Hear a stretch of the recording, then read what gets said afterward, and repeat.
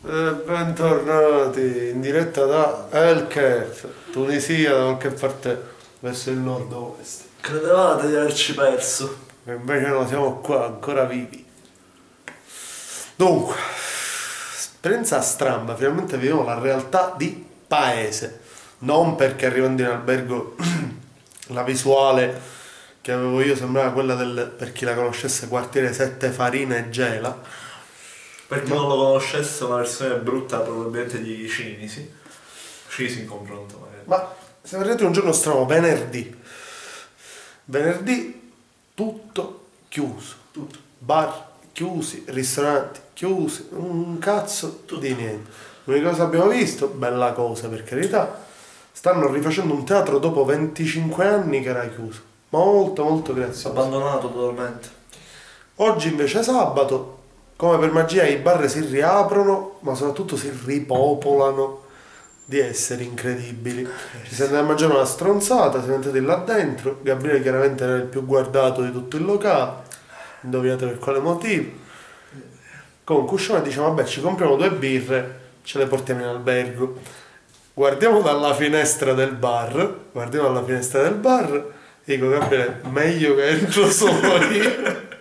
Perché se già sei venuto è finita. È finita. Cioè, non andiamo più. Cioè, se, se, entrava pure lui, o se lo portava in trionfo, noi ci dovevamo levare tutti i millim, i dinner, metterli sul banco e berra per tutti. E finiva come doveva finire. E finiva come doveva finire. Ma è stato meglio così, sono entrato io. E io resto fuori. Là dentro, un girone dantesco bestiale. Bestiale. Gente totalmente persa, perché il privare probabilmente una semplice birra può generare questo. Gente tipo lo sguardo personale avuto accanto a squarciagola, eh, bordello, proprio un, un bordello, un, un festone, un, un festone. Ma un festone disordinato, perché ognuno faceva la sua propria festa dentro il coso. Ieri un locale lo ha ribattezzato un raduno di australopitechi. Cioè, un ragazzo simpaticissimo, slim l'ha ribattezzato un raduno di australopitechi. Il personaggio migliore però era fuori. Lo becca fuori Gabriele. Mentre lì c'è dentro, io mi chiedo, ma che sta succedendo? Non facciamo che forse è meglio che entri.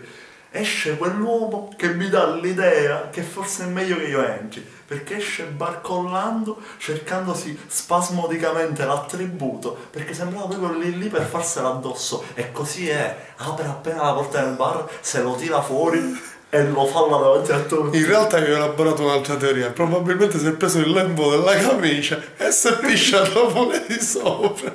Comunque, ragazzi, è una scelta veramente incredibile. Domani torniamo a Tunisi e vediamo che dobbiamo combinare. Tanti saluti. Buonanotte. Buonanotte.